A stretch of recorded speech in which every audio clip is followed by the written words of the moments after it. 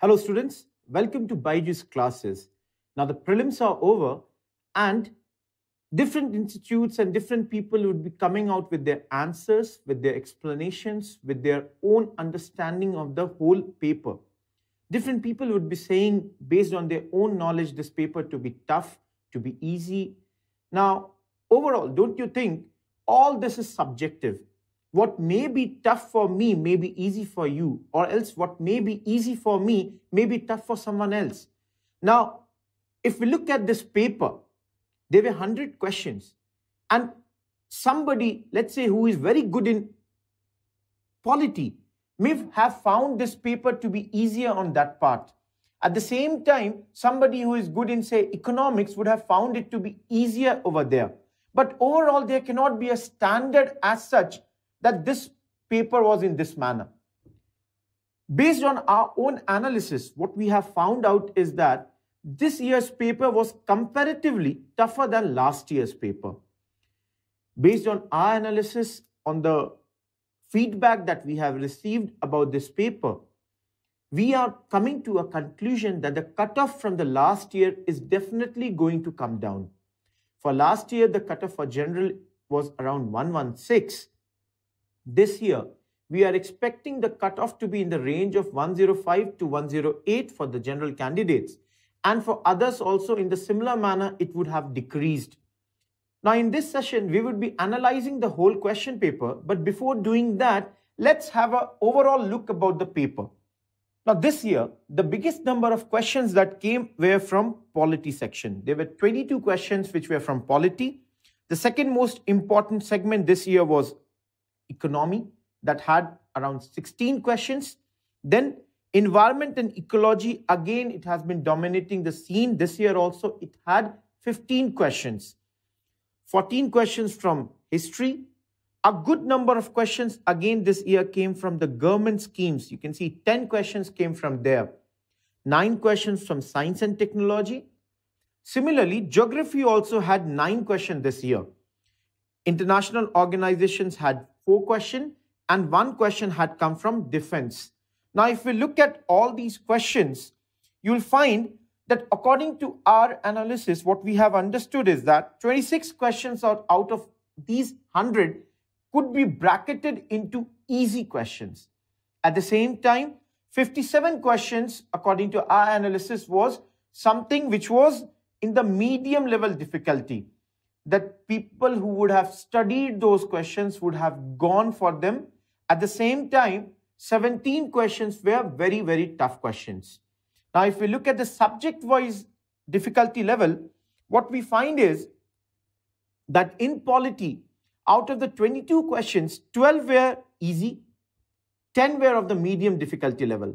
At the same time, in economy, there were only four very easy questions, 12 were of the medium difficulty level. In history, again, the modern Indian question, the, the questions from modern India was slightly in the easier to the moderate difficulty. But overall, if you look, six questions out of the 14 questions that came from history were on the tougher scale, while four each was there in the easier and the medium scale. At the same time, geography, none was easy you'll see in the analysis that there were questions from the map where people had to have the idea of those things. At the same time, you'll see that there were only two tough questions, seven were of the medium difficulty level. In environment and ecology, some questions were really tough. Four out of them were tough. Two was very easy. Nine were of the medium difficulty level. And as far as the science and technology is concerned, one was very easy, six of the medium difficulty level, and two very tough questions. Now, if we look at the static versus dynamic content of the paper, what we found was 60% of the paper was static. That if the people would have gone for the static things, they would have got the answers to this.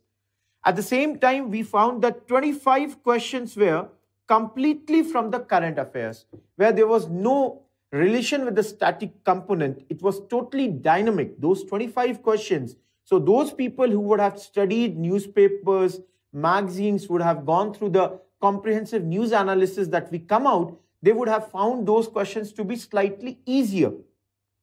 At the same time, 15 questions were such where you had to use your knowledge of the static component along with the fact that you would have read that those things in the dynamic quotient also, in the dynamic aspect also. And thus, if you did not have the knowledge of either of the two, either static or dynamic, you wouldn't have been able to solve these questions. So overall, 60 static, 25 dynamic, and 15 of the mixed nature.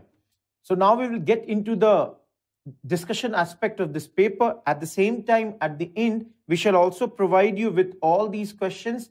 Based on our analysis, we have put which question is easy, tough. And in this paper, we are going to discuss according to the set A. So let's start the discussion. Question number one. Now, with reference to Parliament of India, consider the following statements. A private member's bill is a bill presented by a MP who is not elected but only nominated by the President of India.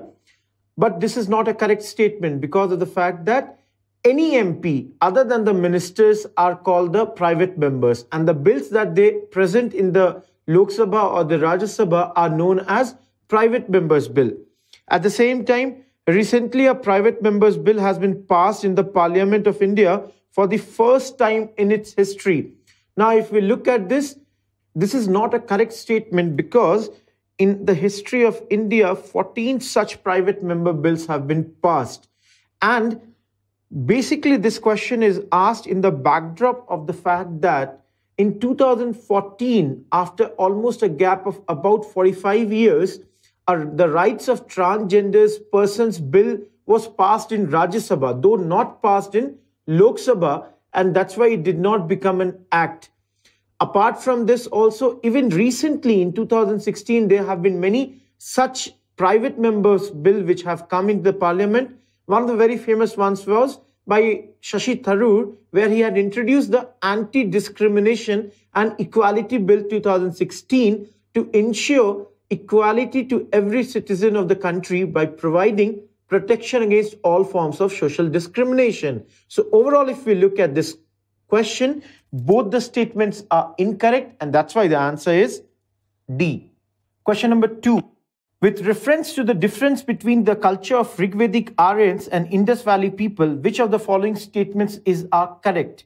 Now here the first one is Rigvedic Aryans use the coat of mail and helmet in warfare, whereas the people of IVC didn't leave any evidence of using them. Two, Rigvedic Aryans knew gold, silver, and copper, whereas IVC knew only copper and iron. Third, Rigvedic Aryans had domesticated the horse, whereas there is no evidence of Indus Valley people having been aware of this animal. Now, this is slightly contentious question because of the mainly because of this third point, and that also because of the fact that this second half, there is no evidence of Indus Valley people having been aware of the horse. Now, the second option is very clearly wrong because Indus people didn't know about iron. So, if second is wrong, B option is wrong, D option is wrong. That means option A is correct. That is, one is definitely correct. Now, looking at the third, Rigvedic Aryans domesticated horse. That is correct. Whereas there is no evidence of Indus Valley people having been aware of this animal. Now, there is a lot of debate around this. And as we have seen that in the recent years, UPSC is not shy of asking the contentious issues like they had asked in mains also in the last years, questions on universal civil code. And similarly, here they have asked question about the existence and the knowledge of horse. Because see, it's very clear Indus people did not domesticate the horse. But here the language is they were aware of this animal. So not very clear. In our view, the answer would be that this is a correct statement. So we would go with the answer C. But at the end of the day, whatever is the answer of UPSC would be the final one. Question three. Now, recognition of prior learning scheme is sometimes mentioned in the news with reference to. Now, if we look at the four options, the first option is certifying the skills acquired by the construction workers through traditional channels.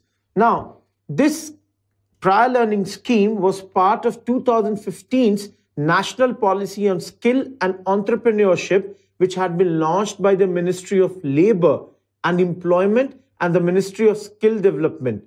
Now, under this, the government had gone for the construction sector across construction sites in five states initially Haryana, Telangana, Odisha, Chhattisgarh, and Delhi so that they could go for certification of the skills that were acquired by the workers in these sectors through traditional non-formal learning schemes or the channels. And that's why the best answer to this question is option A. Question 4. From the ecological point of view, which one of the following assumes importance in being a good link between Eastern Ghats and the Western Ghats? Now, out of the four options, we had to look for some option which is there in the areas where Eastern Ghats and the Western Ghats meet, which would be definitely in the state of Tamil Nadu. So you could have answered this question by knowing the places, by knowing which states all these four areas are. So A, Satyamangalam Tiger Reserve, which is a protected area and is in Western Ghats in the state of Tamil Nadu. Now, this is the significant wildlife corridor in the Nilgiri Biosphere Reserve, which joins the Western Ghats and the rest of the Eastern Ghats. And this is the answer for this question of ours. If you look at the other options, for example, Nallamala, it is in the state of Andhra Pradesh in the district Nellore. If we look at Nagarhole National Park, again in the districts of Kodagu and Mysore. At the same time, Seshachalam Biosphere Reserve, it's in the Eastern Ghats in Andhra Pradesh. So just by knowing the location of all these four, we could have got the answer of this. And answer to this is A. Now, question five. One of the implications of equality in society is the absence of, and options are privileges, restraints, competition, ideology. Now, if we look at the Article 7 of Universal Declaration of Human Rights, which states that all are equal before the law and are entitled without any discrimination to equal protection of the law. Thus, everyone must be treated equally under the law, regardless of race, gender, national origin, color, ethnicity, religion, disability, or other characteristics without privilege, discrimination, or bias. Now, as UPSC asked the best answer, the best answer for this question would be privileges. Because look, even competition, if there is a society where there is equality, competition too would be lesser. But from the polity's point of view, for this answer, privileges is the most correct answer. Now, coming to the question number six. Consider the following statements in respect of trade-related analysis of fauna and flora in commerce, traffic. Now, in this, Traffic is a bureau under United Nations Environment Program. Now, this is totally incorrect because traffic is a joint program of Worldwide Fund for Nature, WWF, and the World Conservation Union, that is IUCN. Now, here, that's how the first statement is incorrect. So, it will not be A, it will not be C. Now, looking at the second one, the mission of traffic is to ensure that trade in wild plants and animals is not is not a threat to the conservation of nature. Now, this is a correct statement, and that's why the answer to this question would be B. Question number seven. Now, which principle among the following was added to the DPSP by the 42nd Amendment to the Constitution? Now, those who have studied 42nd Amendment of 1976, four directive principles were added through that. Article 39, Article 39A, Article 43A, and Article 48A. Now, Article 39 to secure opportunities for healthy development of children. It's not mentioned over here. Article 39A to promote equal justice and to provide free legal aid to the poor. Again, we look, it's not mentioned in any of these. Article 43A to take steps to secure the participation of workers in the management of industries. Seven, you have this option in the option B, participation of workers in the management of industries. And that's why this question has its answer in option B. And the fourth DPSP in that case was to protect and improve the environment and to safeguard protest forests and wildlife. So again, seven, a very theoretical question, an easier question, the answer to which is B. Now coming to question number eight, which one of the following statements is correct? Now if we look at the four options, I'll start with D. Rights are privileges of a few citizens against the many. Now, this is the worst option in out of all these four. This is totally incorrect because rights are never the privileges of a few and that also against many. This is totally incorrect. Now, option A, rights are claims of the state against the citizens. Now, we have to understand, state does not claim rights against the citizens.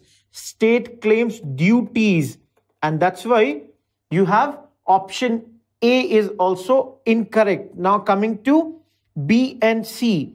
Rights are privileges which are incorporated in the constitution of a state.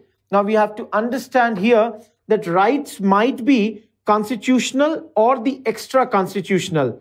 Now within the constitutional also rights can either be within the part third that is the fundamental rights or it can be outside the part third like right to property Similarly, in the extra constitutional rights, we may have different rights like right to vote, which is a legal right. So not all the rights are incorporated in the constitution. And thus, the only answer that is remaining, rights are claims of the citizens against the state. And that is the correct option over here. So eighth would be C. Question number nine. Now, in this Global Gender Gap Index, it is published by World Economic Forum. This organization, which is Geneva based, last year gave India a rank of 87, which was an improvement of 21 because previously India was ranked 108. And this improvement was mainly on account of improvement in education. Question number 10. Now, which of the following statements is are correct regarding Smart India Hackathon 2017? Now, the first option is it is a centrally sponsored scheme for developing every city of our country into smart cities in a decade. Now, understand, smart cities are much in news, and anything with the word smart does not always go with smart cities. You will see this option one is incorrect, which leaves us with B, C, and D. If we look at Second point, it is an initiative to identify new digital technology innovations for solving the many problems faced by our country. And this is a correct statement because this scheme was launched this year by the HRD ministry, where they had organized a 36 hours non-stop digital programming competition for the students, where they had to offer innovative solutions for any given problems. And in this, for the first time, different ministries, different departments had come together, posted around 600 problems for the students for innovative solutions. And under this, the aim to build digital India was thought of.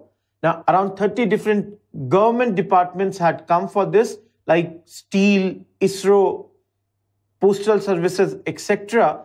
And thus, the second option is a correct statement. So, now we are with B and D.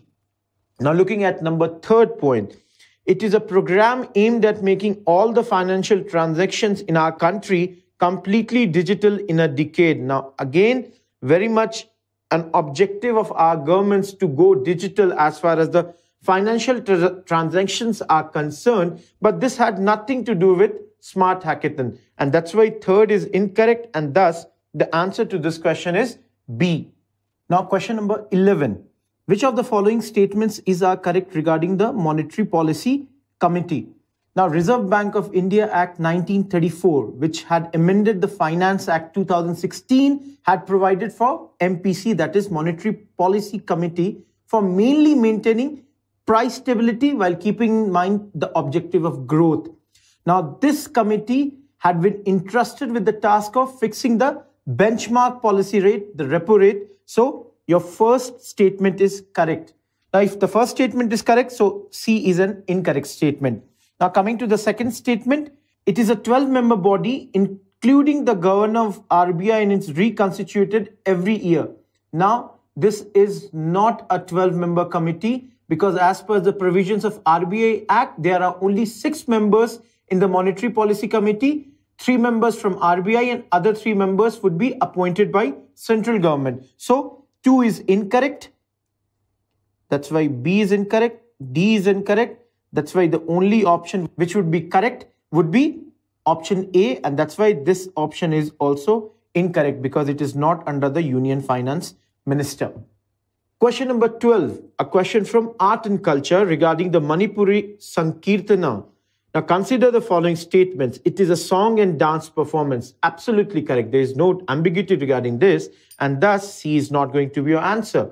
Coming to the number point number two, cymbals are the only musical instruments used in the performance. The words, the moment the words like all, only, and these come, it rings a bell in our minds. Here also, this word is incorrect because it's not only cymbals, there are other such instruments also. For example, the double headed drum, which is known as pung over there. And thus, this is an incorrect statement, and thus, A is also not your answer.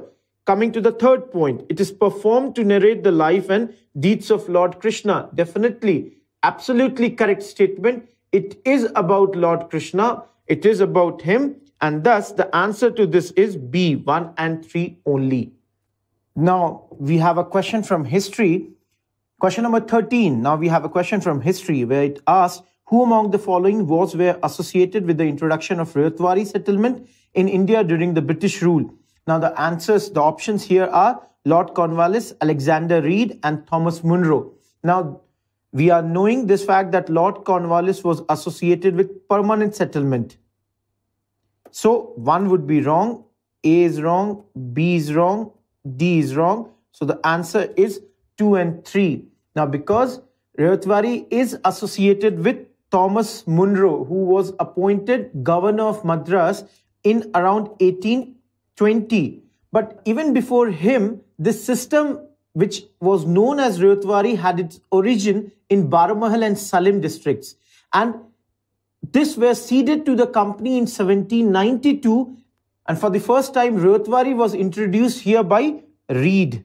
That is Alexander Reid and his assistants. So the answer to this would be 2 and 3. That is C. Question number 14. Now, in the context of solving pollution problems, what is are the advantages or of bioremediation technique? Now, bioremediation. Now, as you know, coming from bio, that is the use of organisms to neutralize the pollutants which are there in the contaminated sites. Now, looking at the first option, it is a technique for cleaning up pollution by enhancing the same biodegradation process that occurs in state, which is absolutely correct statement because they use the naturally occurring organisms to break the hazardous substances into the lesser toxic or almost non-toxic substances. So one is correct. So B is not an option. Then looking at the second one, any contaminant with heavy metals such as cadmium and lead can be readily and completely treated by bioremediation using microorganisms.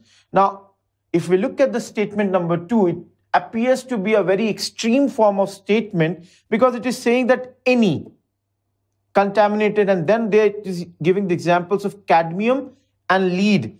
And they are saying it could be readily and completely treated. So everything is going against that. At the same time if we look at scientifically the explanation of this we know that substances like cadmium or lead, these are heavy metals and they are not readily absorbed or captured by the microorganisms. So this is absolutely incorrect statement. Thus, D is wrong. Now coming to the third one, genetic engineering can be used to create microorganisms specifically designed for bioremediation. Now this is again a correct statement because it is a standard practices in the industry at different places. For example, bacteria which have the oil eating abilities are or can be used to create species that are much more capable of cleaning oil spills. So the correct answer to this is 1 and 3. Question number 15. Now, again, a question from history, modern history. The Trade Disputes Act of 1929 provided for. Now, Trade Disputes Act of the Government of India had evoked a lot of protest, had prevented lightning strikes by prescribing a month's notice in public utility service. Now, this bill not only demanded a notice of strike, but it made any strike which had been called for without any conciliatory proceedings as illegal. And at the same time, this notice provision with the conciliatory proceedings would have made the strikes impossible for almost a period of three to five months and thus making the strike options or the actions paralyzed. So if we look at the options, option A, participation of workers in the management of industries. Now, Britishers wouldn't have ever allowed that. So this is something which is absolutely incorrect. Option B, arbitrary powers to the management to quell industrial disputes. Now, this is something which is closer but not exactly correct. So we'll put it on hold. Option C, an intervention by the British court in the event of a trade dispute. Totally incorrect. There is no talk about a British court as such. Coming to option D, a system of tribunals and a ban on strikes, very much closer. So if we look at B and D, now, there it was giving arbitrary powers to the management to quell industrial disputes. It is not the correct. So, the correct option here would be option D. Answer would be D. Now, coming to question number 16. Local self-government can be best explained as an exercise in now, very easy question. It has to be democratic decentralization. The best examples for them would be, in our case, the panchayati system or the municipalities through which were brought in India as a constitutional feature through the 73rd and 74th Constitutional Amendment Acts. Question number 17. Consider the following statements. With reference to the Constitution of India, the DPSP constitute limitations upon legislative function, executive function. So here we have to understand it's not the DPSP which limits, which constitutes limitations, but it is the fundamental rights which put limitations as far as the state is concerned. Now, as far as the DPSPs are concerned, they are the positive obligations that the government or the state strives for. It tries to achieve those things for its own people. So here, both of these legislative function as well as executive functions, as far as the DPSP is concerned, do not constitute limitations. And that's why the answer would be D. Question number 18. Now, the term digital single market strategy seen in the news refers to, out of these four groupings, to which? Now, the answer to this question is European Union. Now, this digital single market strategy was adopted in the month of May 2015. And recently also it was in news because of the Brussels summit where the midterm review of this was done. And here the review had outlined three main areas where EU needs to act further, like data economy, cybersecurity, and online platforms. So the answer to this is C. Now, question number 19. At one of the places in India, if you stand on the seashore and watch the sea, you will find that the seawater recedes from the shoreline a few kilometers and comes back to the shore twice a day. And you can actually walk on the seafloor when the water recedes.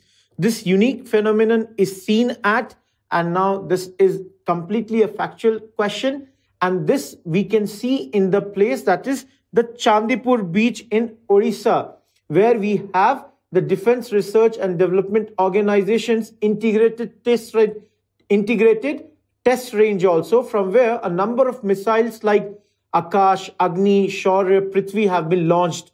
Now, in this place, every day, twice, the sea recedes by almost 5 kilometers and thus gives the opportunity to the people to literally walk into the sea. And this is one of the nature's many wonders that happens on this sea. So the answer to this question would be C, Chandipur. Question number 20b. Again, a question on polity. Prohibition of Benami Property Transactions Act 1988, PBPT Act. Consider the following statements. Of course, a question from polity, but at the same time also related to current affairs because this act has recently been amended. And now, under this, the option one, a property transaction is not treated as a Benami transaction if the owner of the property is not aware of the transaction. Two properties held Benami are liable for confiscation. Point number third, the Act provides for three authorities for investigations, but does not provide for any appellate mechanism. Now, this third point is totally incorrect because this definitely provides for an appellate tribunal in which there are three members, a chairman, plus two members. So, third point is incorrect. And thus, we are remaining now with A or B. And if we look at the ways the lines are framed here.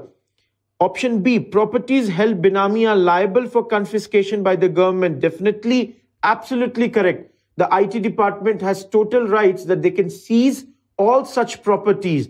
And thus, the answer to this question is B, 2 only. Question number 21.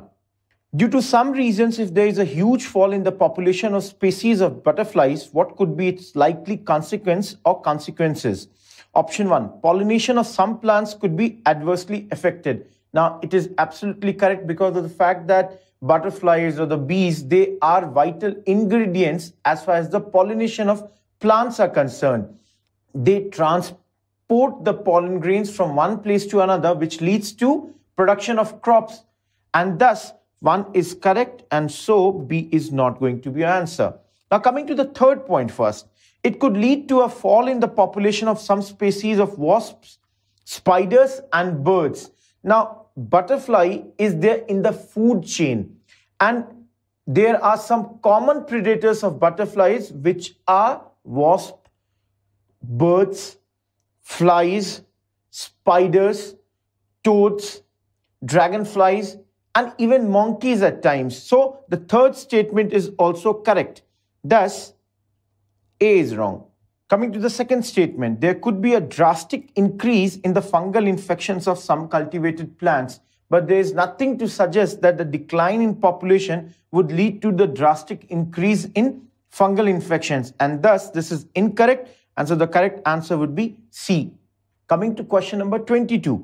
It is possible to produce algae-based biofuels, but what is are the likely limitations of developing countries in promoting this industry? Option 1. Production of algae-based biofuels is possible in seas only and not on continents. Now, again, this is an incorrect statement because of the fact that we have seen that farming of algae, which is also known as alga culture, can be initiated on the lands which are unsuitable for agriculture. So, the moment one is incorrect, both A and D are then wrong. And thus, 3 has to be a correct statement so now moving to the second statement. Setting up and engineering the algae-based biofuel production requires high level of expertise or technology until the construction is completed. And again, it is a correct statement and it is just asking a limitation on developing countries and that would be definitely a limitation and that's why the answer has to be 2 and 3 that is B. Now question number 23. Which of the following are the objectives of National Nutrition Mission? Now, National Nutrition Mission, which has been started by Ministry of Women and Child Development, it has got two major components. The first one regarding the information, education and communication campaign against malnutrition and second, the multi-sectoral nutrition program. Now, if we look at the objectives of this program, the first one, to create awareness relating to malnutrition among pregnant women and lactating mothers. Now, this is basically a part of the first component that is regarding information, education and communication. Through this, healthy lactating practices would be promoted. Through this, importance of balanced nutrition would be suggested. And thus, one is correct and thus D will not be correct. Now, if we look at this, 2 is also there in all the three options. So, to reduce the incidence of anemia among young children, adolescent girls, and women is also correct. Now, if we look at this whole document, we do not get any information about the third and the fourth point. Now, according to our research, third is totally incorrect and that's why B will not be answer.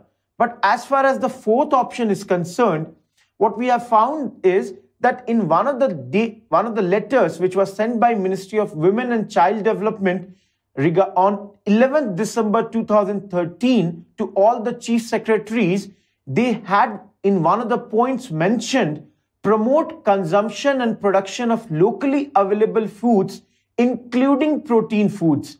And in this, they had mentioned that they can also support fish farming in village ponds and tanks and encourage production of eggs and poultry for local consumption.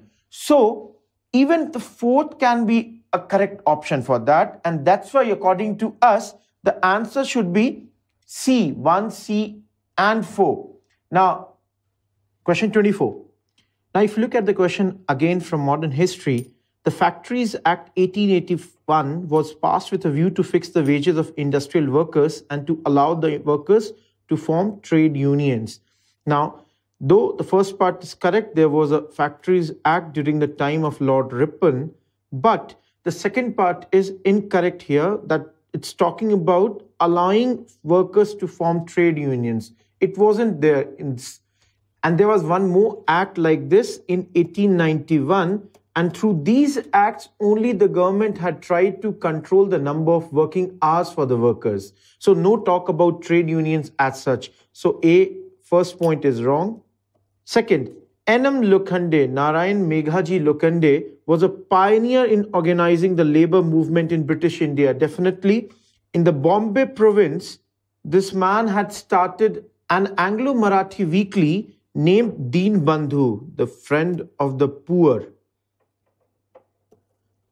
and also he had organized an association named Bombay Mill and Mill Hands Association.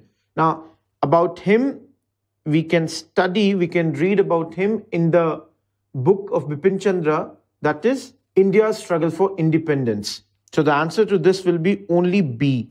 Question number 25. In the context of mitigating the impending global warming due to anthropogenic emissions of a CO2, which of the following can be the potential sites for carbon sequestration? Now, we have to understand that carbon sequestration is a natural or the artificial process by which CO2 is removed from the atmosphere and it can be held in the solid or the liquid form. Now, we know that it can be done in the abundant and uneconomic coal seams. At the same time, it can also be done in depleted oil and gas reservoirs because of the fact that a lot of empty spaces are there. At the same time, in the subterranean deep saline formations, also we can store these CO2. Now, these deep saline formations, also known as deep saltwater reservoirs, are rocks that have porous spaces that are filled with brine and they exist throughout the world and have a great potential for CO2 storage. So the only option that would have confused people was number third, but it's very clear that all the three are to be the answer for this. And the answer is option D. Coming to question number 26. The object of Butler Committee of 1927. Now, Butler Committee, also known as Indian States Committee, named after Mr. Harcourt Butler, and that's why known as Butler Committee, had come to specify the relations between the paramount power, that is the Britishers, and the princes of the different princely states and that's why this commission had come. They had visited some 16 states at that point of time, and they had submitted their report by 1929. So if we look at the options, define the jurisdiction of central and provincial governments. There was no talk about these governments in that. Define the powers of Secretary of State. Don't talk about Secretary of State. Impose censorship on national press. This was not related to press. So the only answer and the option left is D improve the relationship between the government of India and the Indian states. Because if you remember, what's the original name? The original name of the Butler Committee is Indian States Committee. And thus the answer is D. Question number 27. The term domestic content requirement is sometimes seen in news with reference to developing solar power productions in our country, granting licenses to foreign TV channels in our country, exporting our food products to other countries, permitting foreign educational institutions to set up their campuses in our country. The most appropriate and the only correct answer to this is option A because this is very much in news because in our India's Jawaharlal Nehru solar mission program, we had given preference to procurement of solar panels which had Indian content. Now, this was one of the types of non-tariff barrier and under which US companies had taken us to WTO and they had favored US. They had given the ruling in their favor.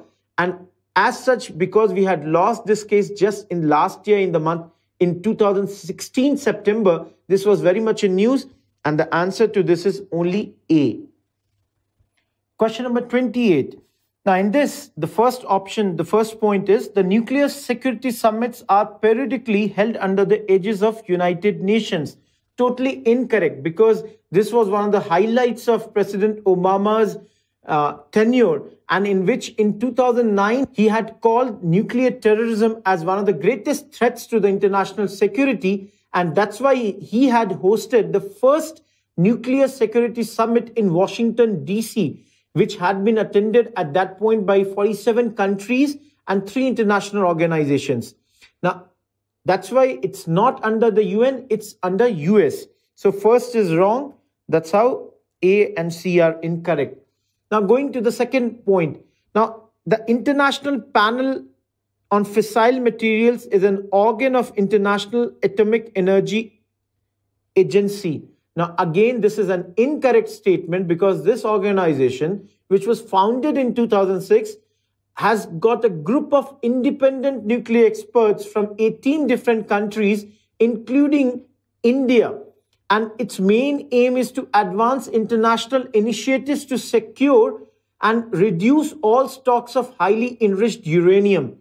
So again, this is not under IAEA. So the answer to this would be D, neither one nor two. Question number 29. Who among the following can join the NPS system, the National Pension System? Now, option A, resident Indian citizens only. See, it is very clearly mentioned that even NRIs can open NPS accounts, though it is subject to RBI and FEMA norms. So option A is incorrect. Second option, persons of age from 21 to 55. Again, not from 21, but from 18. That's why option B is incorrect.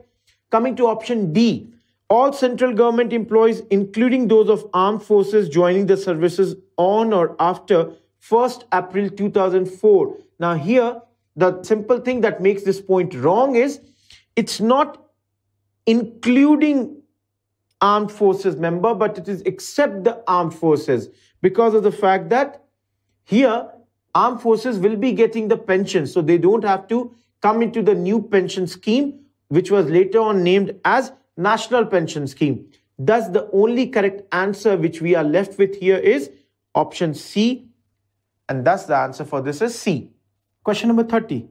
With reference to River Teesta, consider the following statements. Now, though it is a question from geography, but at the same time, if we remember, Madam Sheikh Hasina Wajid, Prime Minister of Bangladesh, had come to India recently in the month of May, and the talks were regarding Teesta's water distribution, which have been hanging between India and Bangladesh for last many years. Now, if we look at these options, the source of River Tista is the same as that of Brahmaputra, but it flows through Sikkim. Now, the source of both these rivers are not same. So, one is wrong that's why A is wrong, D is wrong. That means 2 is definitely correct. That is River Rangit. And definitely it is the most important tributary of River Tista and it originates in Sikkim and is a tributary of Teesta. So now we just need to look at third point. River Teesta flows into Bay of Bengal on the border of India and Bangladesh. Now, River Teesta, when it enters Bangladesh after flowing for some time, it joins Brahmaputra, which is known as Jamuna in Bangladesh. So, as such, it does not reach the borders of India and Bangladesh with regards to Bay of Bengal. So, the correct answer for this question would be B, 2 only. Question number 31. Consider the following statements. In tropical regions, Zika virus disease is transmitted by the same mosquito that transmits dengue. Now, Zika virus, which was very much in news, because it had started in the Caribbean and the South American countries. And recently, one of the first cases of this was also found in the state of Gujarat. Now, here, the mosquito which carries this, the Aedes mosquito, it is the same carrier for all the diseases like dengue, malaria, Zika. And that's why the first statement is correct.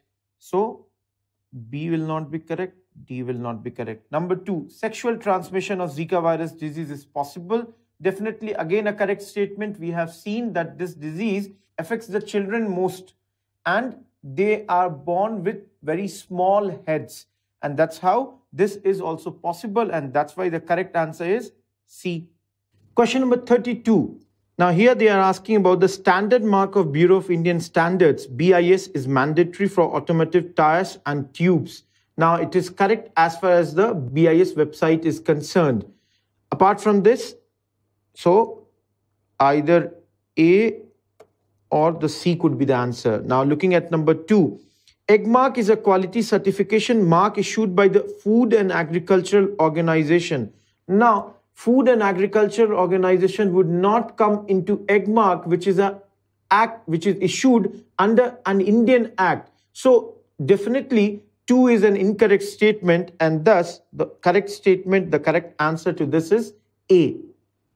Now coming to question number 33. What are the advantages of implementing the National Agriculture Market Scheme? Number one, it is a pan-India electronic trading portal for agricultural commodities. Now, ENAM, that is National Agricultural Market, has been launched by the Ministry of Agriculture and Farmers Welfare.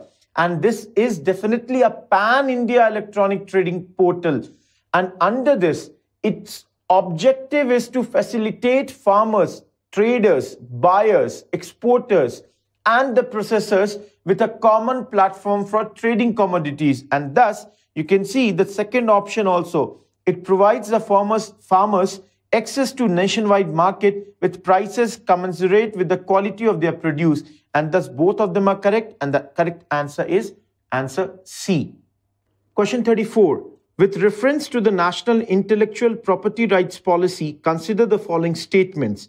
It reiterates India's commitment to the Doha Development Agenda and the TRIPS Agreement. Totally correct statement because this policy recognizes that India has a well-established TRIPS compliant legislative, administrative and judicial framework to safeguard IPRs, which meets its international obligations while utilizing the flexibilities provided in the international regime to address its developmental concerns. At the same time, if we look at the second option, Department of Industrial Policy and Promotion is the nodal agency for regulating IPR in India. And that's also a totally correct statement. And thus, the answer to this would be C. Both 1 and 2 are correct. Question number 35. Now, according to the Wildlife Protection Act 1972, which of the following animals cannot be hunted by any person except under some provisions provided by law? And we had to select the cannot, those which cannot. Now, if we look at the three animals which are provided, gharial, Indian wild ass, wild buffalo. Now we have to understand all these three are there in the Schedule 1 of the Wildlife Protection Act, which is valid for the whole of India except Jammu and Kashmir. Now we already know this act has got six schedules with different levels of protection. And those animals which are in the Schedule 1 and Part 2 of Schedule 2 are given absolute protection and offenses under these are prescribed the highest penalties. And because all these are in the schedule 1 so none of them can be killed. And thus the answer to this becomes D 1 2 and 3 question number 36 which of the following statements is are true of the fundamental duties of an Indian citizen? Again part 4a now in this First option, a legislative process has been provided to enforce these duties. Now, we have to understand that the fundamental duties legal utility is similar to that of directive principles. But whereas the directives are addressed to the state, duties are addressed to the citizens without any legal sanction for their violation. Because the citizens are expected that they would be their own monitor while exercising and enforcing their fundamental rights. And thus, your part one, the option one is wrong over here. At the same time, correlative to legal duties. Now, this is also incorrect because they are not going to be enforced by any mandamus or any other legal ways. And thus, the answer to this question is D, neither one nor two. Question number 37. Again, a question from modern history. Now, here they have given three pairs. One is Radhakant Dev, first president of British Indian Association. Second, Gajlu Lakshmi Narasu Chetty, founder of Madras Mahajan Sabha. And third, Surendranath Banerjee, founder of the Indian Association. Now, if we come from the third option, Surendranath Banerjee, he was the founder of Indian Association. Correct. This association was founded in the year 1876 and it had superseded the found the another association Indian League which was founded by Surendranath Banerjee and A.M. Bose. So third is a correct statement. That's why A is incorrect. Now going to the second one. Gajlu Lakshmi Narasu Chetty, founder of Madras Mahajan Sabha. Now Gajlu Lakshmi Narasu Chetty was definitely the founder of one of the associations, but the name of that association was Madras Native Association, which was formed in the year 1849. Now, the organization Madras Mahajan Sabha was founded in 1884 by G. Subramanya Iyer and P. Anand Charlu. That's why 2 is incorrect. Thus, C and D are incorrect, and thus we have the B option as the correct option. Also, Radhakant Dev was definitely the first president of British Indian Association, formed in Bengal, which had very prominent members like Devendranath Tagore too. So the answer to this question becomes B. Coming to question number 38.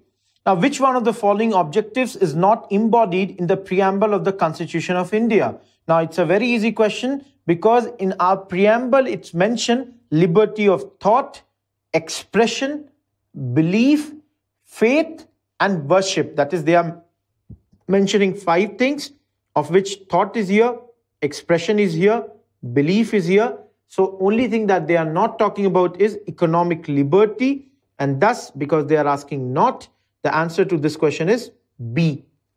Question number 39. Now, if you look at with reference to Quality Council of India, QCI, consider the following statements.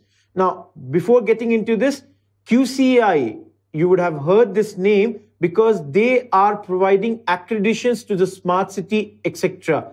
They are the body which develops the questionnaire and the methodology of the survey that's developed by Ministry of Urban Development and the survey is conducted by QCI, which is an autonomous body for quality management under the central government and this methodology is used to rank the cities on the basis of cleanliness and sanitation. And one of the most recent rankings had come in the month of May just 2017. Now looking at the options, QCI set up jointly by GOI and Indian industry. Absolutely correct. The industry definitely is jointly along with the government doing this thing. Option B, Chairman of QCI is appointed by PM on the recommendations of the industry to the government. Again, correct. Now, understanding this fact is that it's virtually impossible to know each and every fact about each and every such bodies. But as far as this question is concerned, it would be a tougher question. But the answer to this is C. Both 1 and 2 are correct. Question number 40. What is the purpose of setting up small finance banks in India? Now, small finance banks had come during the time of Raghuram Rajan.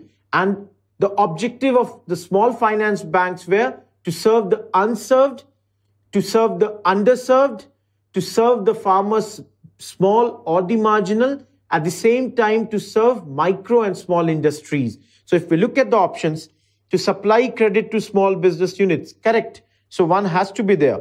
To supply credit to small and marginal farmers, again, two is also correct. So now looking at A or D, so, third, to encourage young entrepreneurs to set up business, particularly in rural areas.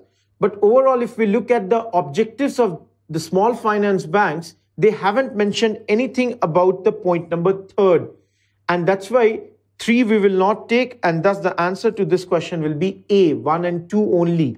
And again, this is a question which was very much in news because the first small finance bank has started its operation just from the last year onwards. Moving ahead. Question 41. With reference to Asia Pacific Ministerial Conference on Housing and Urban Development, consider the following statements. Statement 1. The first APMCHUD was held in India in 2006 on the theme Emerging Urban Forms, Policy Responses and Governance Structure. Now, unfortunately, this theme, which has been put in 2006, is not a theme for 2006, but for the year 2016. The theme for 2006 was a vision for sustainable urbanization in the Asia Pacific by 2020. Thus, the first statement is incorrect. Looking at the second statement, India hosts all the and all the annual ministerial conferences in partnership with ADB, APEC, and ASEAN. Now, again, there is words like all, but here the most important word is this annual because it's very clearly mentioned that APMCHUD's ministerial conferences are a biennial events. So this statement is also incorrect. But again, it is something which was related to current affairs because the sixth edition of this conference was just held last year in 2016 in New Delhi. So the answer to this would be D. Question number 42. Democracy's superior virtue lies in the fact that it calls into activity. Option A, the intelligence and character of ordinary men and women. Correct, because if we are voting through our voting rights, we show our intelligence, we show our character. Let's see option B. The methods for strengthening executive leadership. Now, it's not only executive, but it's also the legislatures. It, it, it strengthens all of them. So, this is not correct. Option C, a superior individual with dynamism and vision. Now, this is not true only for democracy. It may be true for even dictatorship. There also, a superior individual with dynamism or vision can come. At the same time, look at D, a band of dedicated party workers. Now, again, an incorrect statement. It can be true even for a communist party, say like example in China. There also, there can be a dedicated party workers. So overall, the best answer to 42 is A. Question number 43. Which of the following is most likely consequence of implementing the UPI, the Unified Payments Interface? Now, if we just recall what UPI is, then it is a payment system that allows money transfer between any two bank accounts by using a smartphone. Now, this will allow customers to pay directly from a bank account to different merchants, both online and offline, without the hassle of typing any credit card details, IFSC code, net banking, wallet passwords, mobile wallets will not be necessary. And that's why you can see the best answer to this question is without going into any other options, A. Mobile wallets will not be necessary for online payments. And again, very much related to the demonetization which was carried out in last year, November 2016.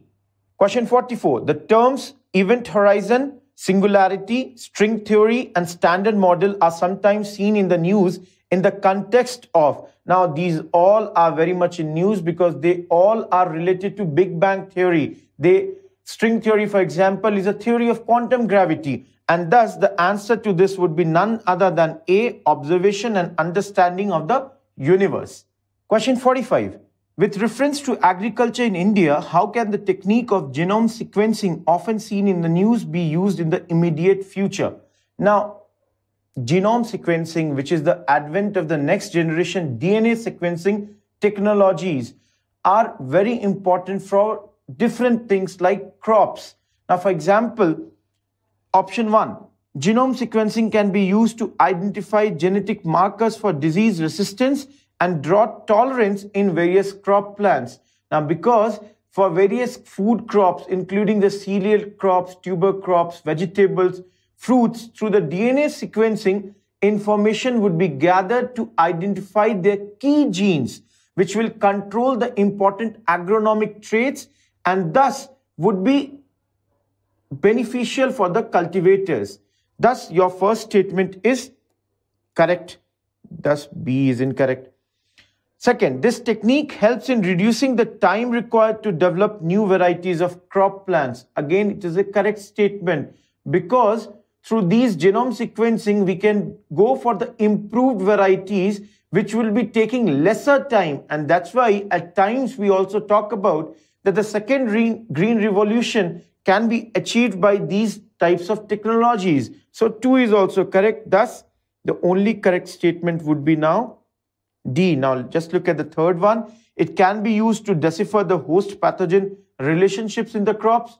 Of course, once we have the knowledge of the genomes, once we have the knowledge of transcriptions, once we have done the experiments and the studies, we can definitely know the exact relations of the host and the pathogen by doing massive DNA resequencing or gene expression and thus we can improve the understanding of us with regards to crop genetics. So the answer to this is D.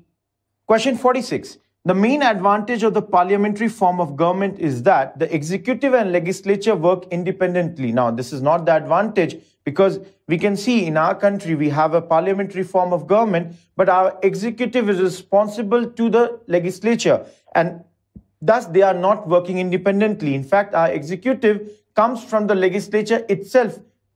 Number B, it provides continuity of policy and is more efficient. Now, this can be said for many other systems. For example, the presidential form of governance. Now, there also, there is a continuity of policy and that is also same in the similar manner, more efficient. Option C, the executive remains responsible to the legislature and this is the correct statement. You can see. Now, just look at the option D also. Now, if we look at the option C, the executive is, for example, in our country, our executive responsible to Lok Sabha if they are accountable to the Lok Sabha.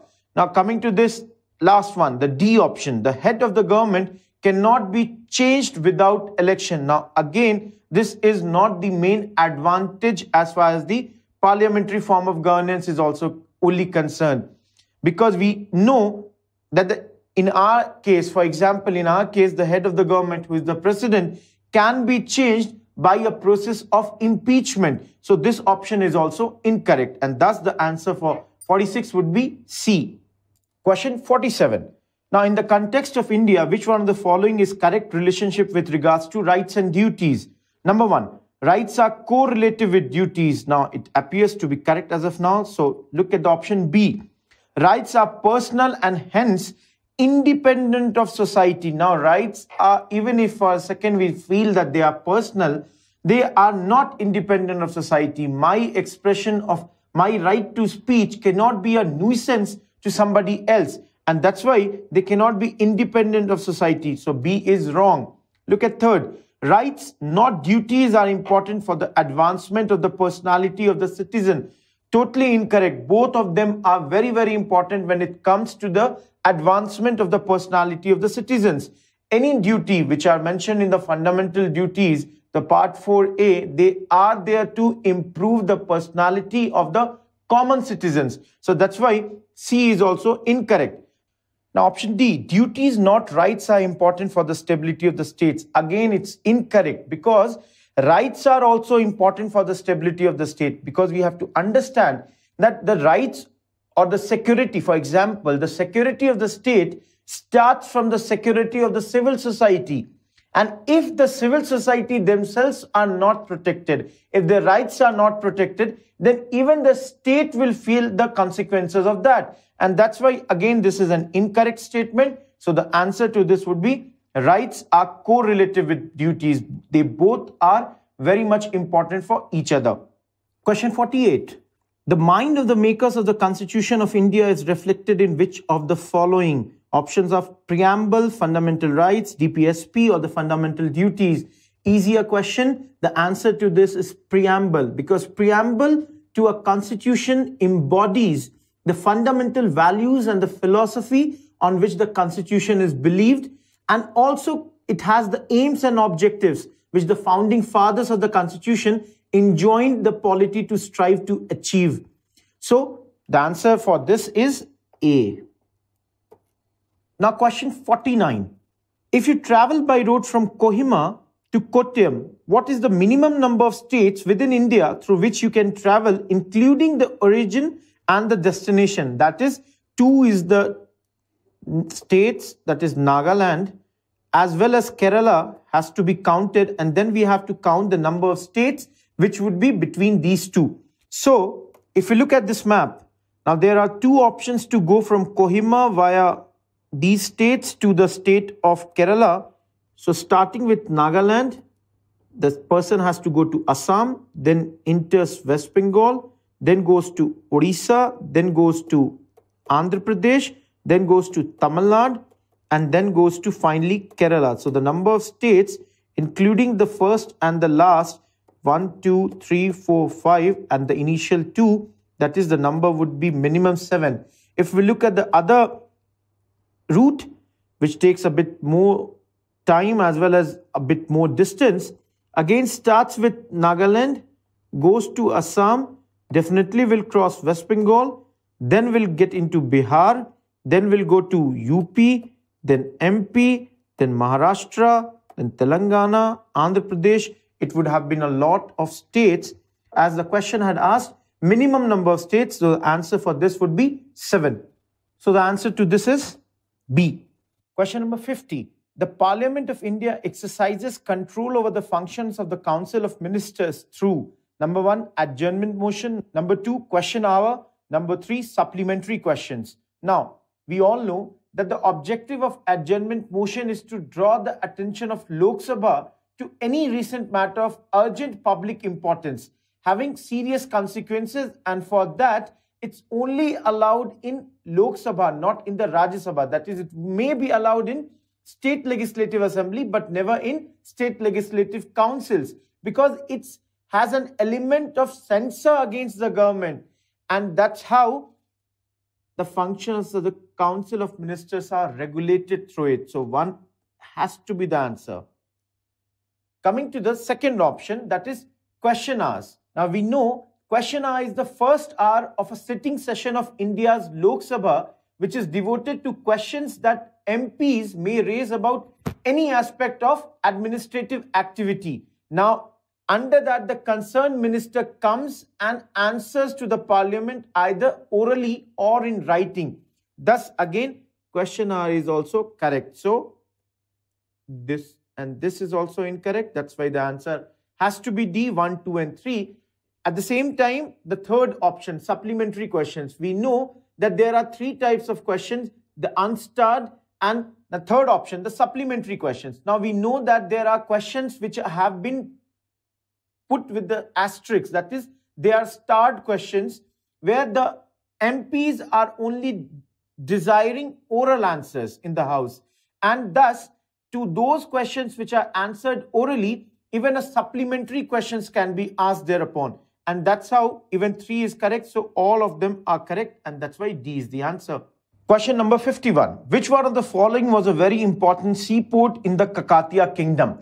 Now, this year's UPSC's most controversial question, according to us, because you know for the last few days there is a joke going around that UPSC for, forgot to mention which one of the following was not a very important seaport in Kakatiya. Because we have different sources through which we are getting Motupalli, Machilipatnam or Masulipatnam and Nelluru, Nelluru, all the three we are getting through different options. Now, the dispute is around all these three. That's why the joke is they should have mentioned not. But still, because they haven't mentioned not, we'll look out of all these B, C or D, which will be the most correct statement. Now we have to understand that through different sources, what we find is that one of the very important seaports and a very well-known seaport of this kingdom was Motupalli, which was in Krishna district, where trade flourished because of the farsightedness of the monarch. And that's why the answer to this can be Motupalli. But at the same time, we have references from Marco Polo's visit who refers to the kingdom as Mutfili, which was the name for an area around a major port of the dynasty, which is now known as Masulipatnam. And this is from what we get from different studies like Mr. Chakravarti's 1991. So Masulipatnam is also one option. But at the same time, we can also deduce that most probably it might be that his reference was to Motupalli and not Masulipatnam. So maybe C is not that good answer and that's why B should be. Now coming to option D, Nelluru, which was also a part of Kakatiyas in 13th century, kept on changing hands between them and Pandyas. And this may also could have been the answer. But overall, the most important and the best answer out of all these four appears to be Motupalli. And that's why we would be going with Motupalli as the answer. Let's see what UPSC comes out with their answer when they come out with their answer keys. Let's see what UPSC says when they come out with their answer keys. Question number 52. With reference to Global Climate Change Alliance, which of the following statements is are correct? Now here, first statement is it is an initiative of European Union, which is absolutely correct statement because it was established in 2007 by EU. So one is correct. That's how B and C both are incorrect. That's how two will also be a correct statement. That is, it provides technical and financial support to targeted developing countries to integrate climate change into their development policies and budgets. And that's how this was to mainly attract the least developing countries, the mainly attract the least developed countries and the small island developed states. Along with that, if we look at the third point, it is coordinated by World Resources Institute, WRI, and World Business Council for Sustainable Development, WBCSD. Now, this is totally incorrect. It does not coordinate with these bodies, and that's why 3 is incorrect, and thus A is the answer for this question. Now, question number 53. Now, a question from ancient history and the UPSC's love affair with Jainism, Buddhism doesn't end. And again, one more question here. Now, first option, Sautrantika and Sammitiya were the sects of Jainism. Now, it, they were not the sects of Jainism, but they were sects of Buddhism. And that's how A and C are incorrect. Now, if we look at option B, the second statement, Sarvastivadin held that the constituents of phenomena were not wholly momentary, but existed forever in a latent form. And that's the basic idea about this whole philosophy, this whole school of Buddhism, because it roughly means proclaiming that all exists, that the existence of dharma in all of the three times, whether it is the past, whether it's the present, or whether it is the future. And here, Vasubandhu, who had put this philosophy into the form into the form in which it is most read in Buddhist religious practices. And he was one of the disciples of Nagarjuna, who was one of the biggest critic of this philosophical school. So the answer of this is B, 2 only. Question number 54. Now, again, a question from maps. Now, Mediterranean Sea is a border of which of the following countries?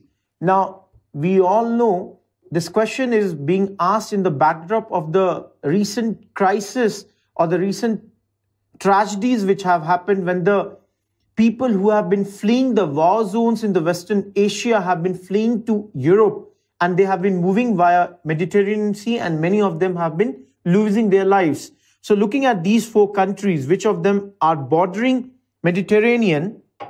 Now this is your Mediterranean Sea. You can see Syria is here and the war zone. You can see Aleppo, Damascus. In these areas, you have fightings going on between the state led by Mr. al-Bashar and the rebels against him. Then you have the other state, Lebanon. Both of them are bordering Mediterranean Sea. Jordan, as you can see, does not border Mediterranean. And finally, Iraq is also over here. It's also not bordering the Mediterranean. So the answer would only be Syria and Lebanon.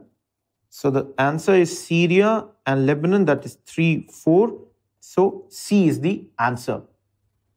With reference to National Investment and Infrastructure Fund, which of the following statements is are correct? First, it is an organ of Niti Aayog. Unfortunately, NIIF is under the Department of Economic Affairs. That's why your first option is incorrect. At the same time, it has a corpus of 4 lakh crores at present. Now, UPSC likes to play with these numbers, especially the zero digit. And here it's not 4 lakh crore, but only 40,000 crores. So we have that both these statements are incorrect. Thus, the answer to this would be D. Now, NIIF was set up in the budget 2015. Question number 56. The global infrastructure facility is a and. Now we have got some four very big, big options. If we look at very importantly what it is, first is ASEAN, second is World Bank, third is OECD, fourth is UNCTAD. Now, if we had just known which was the organization that had come with this global infrastructure facility, we would have got the answer to this. And the answer to this is World Bank, which had launched this in 2014.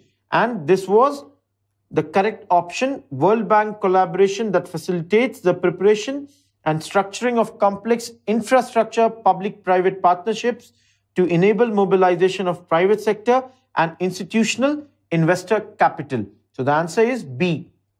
Question number 57. For election in the Lok Sabha, a nomination paper can be filed by anyone residing in India. Now, totally incorrect because that person who might be residing may not be a citizen of India. So he will not be allowed to that, do that. Number two, a resident of the constituency from which the election is to be contested. Now we have to remember there have been cases where one candidate has fought from two constituencies, but his name can be in only one. So how can he fight from two? So overall, if you look, this is also incorrect. We can give just the example of, say, Mr. Narendra Modi. In the last elections in 2014, he had fought from two constituencies, though his name would be in only one constituency. So again, this cannot be a correct option. Look at the option D. Any citizen of India. Now, no, for any citizen of India to fight the election, he should have the names of his or her mentioned in the electoral rolls of the election commission. And here, that's why any citizen of India will not be a correct option. And that's why C, you can see any citizen of India whose name appears in the electoral roll of a constituency. It can be any constituency. They can be mentioned in any constituency, can fight in any other constituency, but overall, their name has to appear in any electoral roll. And that's why the best answer to this is C. Question number 58. Now, geographical question that consider the following statements. In India, the Himalayas are spread over five states only. Western Ghats are spread over five states only. Pulicat Lake is spread of two states only.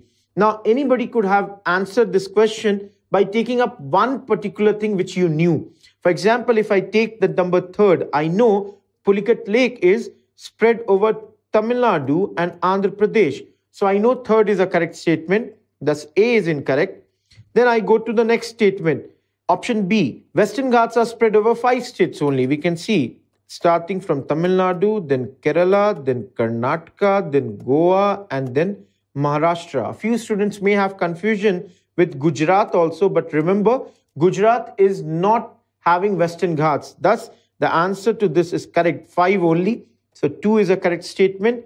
That's why the answer would be both 2 and 3. So the answer is C. Now understand, in India, the Himalayas are spread over 5 states only. It will not be because when we take Himalayas, we have to understand that Himalayas have three parallel ranges and all these three parallel ranges start from Jammu and Kashmir in the west and go till Arunachal Pradesh in the east. So if you're counting it in this manner, you definitely get Jammu and Kashmir. So you definitely get Himachal Pradesh, then Uttarakhand, then Sikkim, and finally Arunachal Pradesh. So you get five states only if you are counting it in that manner. But understand this that this takes a turn. Himalayas takes a turn in the southward directions in northeast also. And that's why the answer to this will not be limited to five states only. And thus, one is incorrect and the only correct option is C. Now, question number 59. Biological oxygen demand, BOD, is a standard criterion for. Now, biological oxygen demand, also known as biochemical oxygen demand, it's the amount of dissolved oxygen that's needed by any aerobic biological organisms, organisms to break down the organic material present in a given water sample at a certain temperature over a specific time period. If we look at the options, only option C is the answer to this because it is talking about pollution assay in aquatic ecosystem. So the answer for 59 would be C. Now, question number 60. With reference to the role of UN Habitat in the United Nations program working towards a better urban future, which of the following statements is are correct? Now, though it is a question from UN Habitat appearing to be a static question, but it was very much related to current affairs because recently only India had been elected as the president of the UN Habitat and our urban development minister, Mr. M. Venkaiah Naidu, was going to chair that. So it was it had appeared in the newspapers in the month of May, and that's why very much a current affairs question. Now, looking at the options, first, we have to understand here that second point, its partners are either governments or local urban authorities only is incorrect because it also partners with private organizations as well as civil society. The moment two is incorrect, we are now left with option B and D, that means one is definitely correct. So UN Habitat has been mandated by UN General Assembly to promote socially and environmentally sustainable towns and cities to provide adequate shelter for all is a correct statement. Now looking at the third statement also, UN Habitat contributes to the overall objective of UN system to reduce poverty and to promote access to safe drinking water and basic sanitation. And this is one of the most important aims and objectives of UN Habitat. And thus, this is also a correct statement. So, both A, 1 and 3, and thus the answer to this is B. Now, question number 61. With reference to the National Skills Qualification Framework, NSQF, which of the following statements given below is correct? Now, before we get into NSQF, just understand this is a competency-based framework that organizes all qualifications according to a series of levels of knowledge, skills, and aptitude, and thus graded on the scale of 1 to 10. And the learning outcomes are defined under which the learner may get the process under formal, non-formal, or the informal training. And that's why your option statement 1 is incorrect because it is only talking about formal and does not talk about informal or the non-formal. Now, if we look at the statement 2, it is clearly written in the implementation of NSQF and the outcomes that are expected, one of them would be this one. And that's why 2 is correct and the answer to this is B, 2 only. Question number 62. In the context of Indian history, the principle of diarchy refers to. Now, it's a direct question. The answer to this would be this diarchy was brought through the Montagu-Chelmsford reforms of 1919 through which in the provinces all the subjects had been divided into two parts, transferred and the reserved. And that's why the correct answer to this would be division of the subjects delegated to the provinces into two categories. So D is the correct answer. Question number 63. Consider the following in respect of National Career Service. Now, National Career Service, which was launched by Prime Minister Mr. Modi in 2015 as part of his government's focus on providing right skills and generating employment.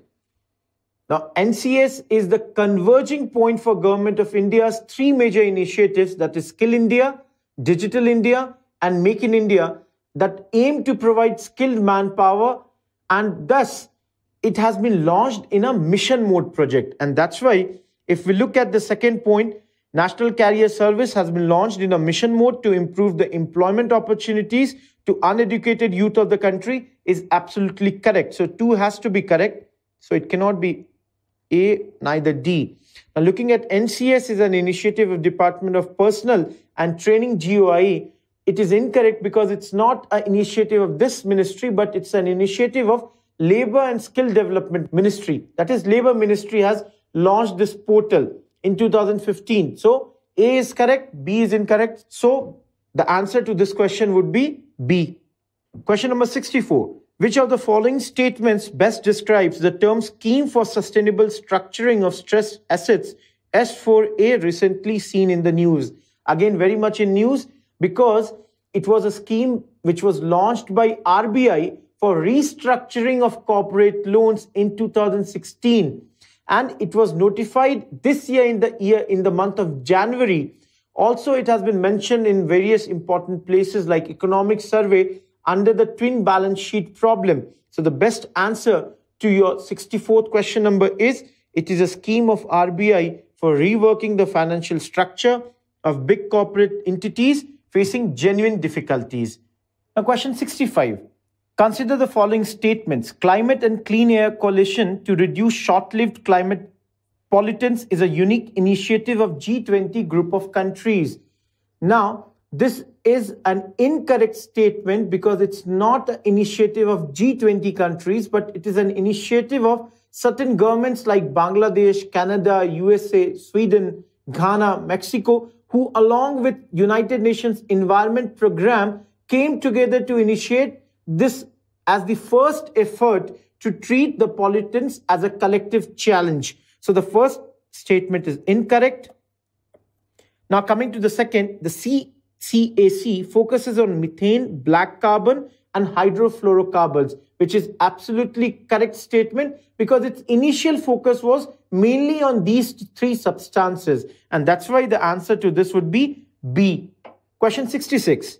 Now, with reference to Indian Ocean Dipole, IOD sometimes mentioned in the news while forecasting Indian monsoon, which of the following statements is uh, correct? Now, first statement, IOD phenomena is characterized by a difference in sea surface temperature between tropical Western Indian Ocean and tropical Eastern Pacific Ocean, which is an incorrect statement because here the IOD, also known as Indian Nino, is an irregular oscillation of sea surface temperature in which the Western Indian Ocean becomes alternately warmer and then colder than the eastern part of the same ocean. So the talk about Eastern Pacific is totally incorrect. So statement 1 is wrong. Thus A and C are wrong. Now second, an IOD phenomenon can influence an El Nino's impact on the monsoon. Definitely, they impact the El Ninos and this is a correct statement. So again, the answer to this would be B. Question 67. Now the question is asking if you want to see gharials in their natural habitat. Now big important word is natural habitat. Which one of the following is the best place to visit? Now the options are Bhitarkanika, Chambal, Pulicat and Deepor Beel. Now gharials which once thrived in all the major river systems of the Indian subcontinent from the Indus to Gangetic to even Irrawaddy in Myanmar, today they are extinct in Indus, Brahmaputra and the Irrawaddy and now it's only limited to small populations in the rivers of Chambal, where we have already got the National Chambal Sanctuary. So the best answer to this would be Chambal River. So the answer is option B. Question 68. Now consider the following in respect of Indian Ocean Naval Symposium, IONS. Now, inaugural IONS was held in India in 2015 under the chairmanship of the Indian Navy. Now, this is an incorrect statement mainly because of the fact that 2015 is mentioned, whereas the inaugural IONS had happened in the year 2008. Now, anybody who has been studying it would have known this, that it's something not so recent.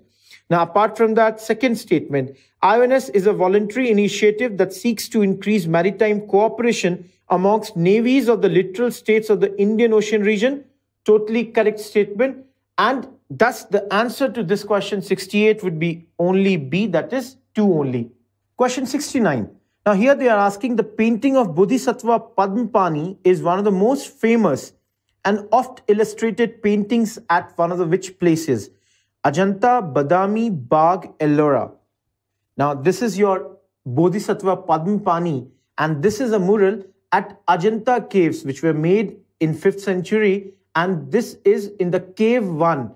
Now, this is one of the most beautiful, one of the ancient, one of the most romantically painted in the caves which are there in the jungles by one of the mysterious king, by one of the unknown artists, and this can be, you know, compared to, if I say to the Mona Lisa's or to Andy Warhol's Foucault image of MM. So this is one of the best mural paintings which are found at Ajanta caves.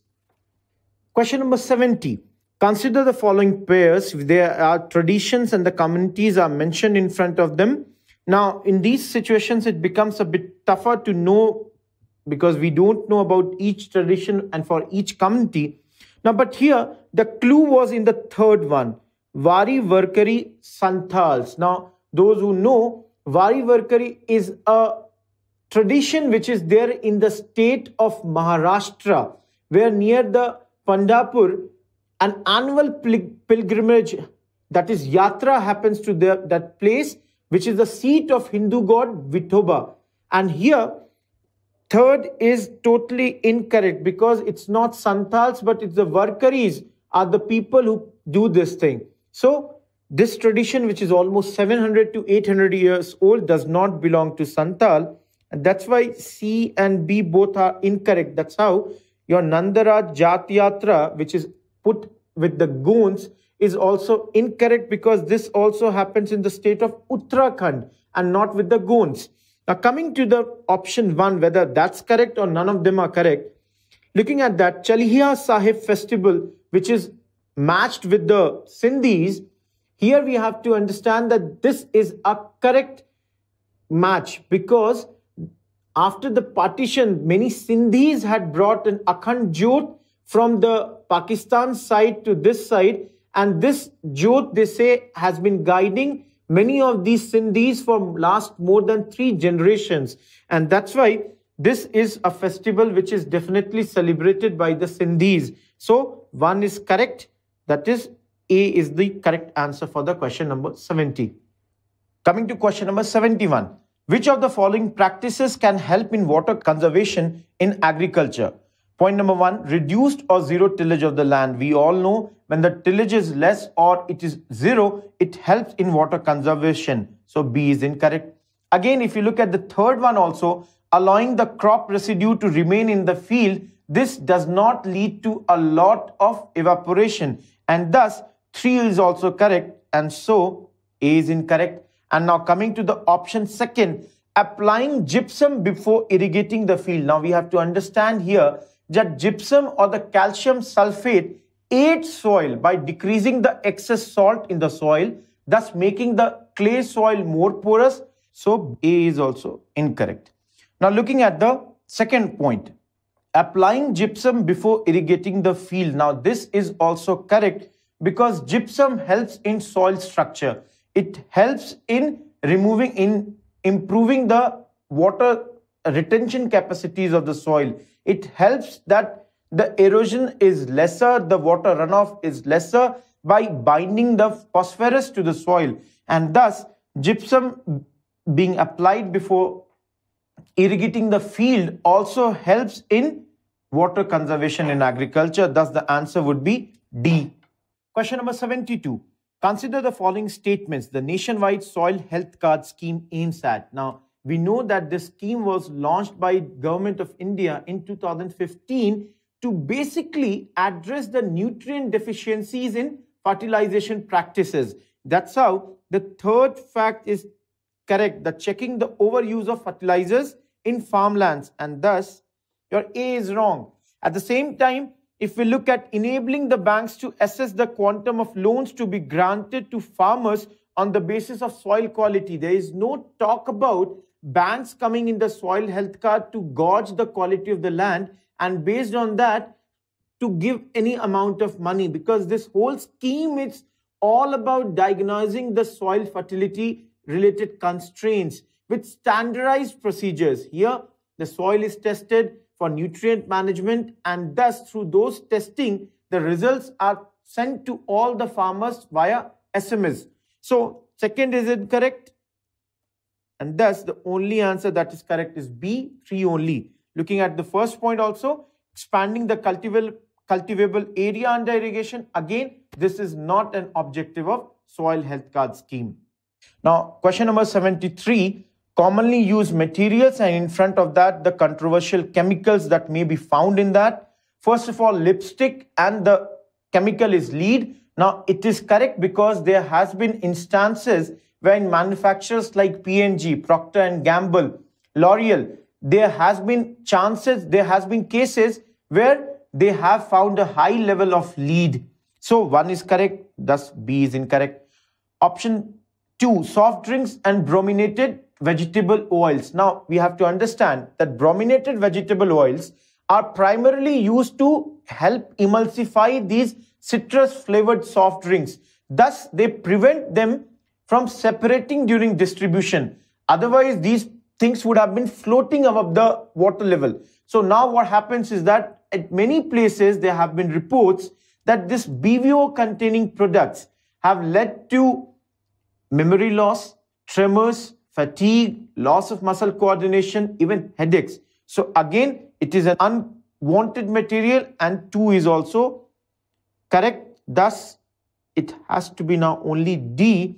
And still, if you can look, the third one, Chinese fast food, monosodium glutamate. Now, monosodium glutamate, which is popularly known as MSG, is also something that leads to headaches, sweating, and this makes people lethargic or flushed.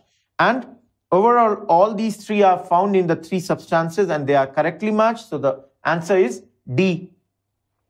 Now, Question number 74.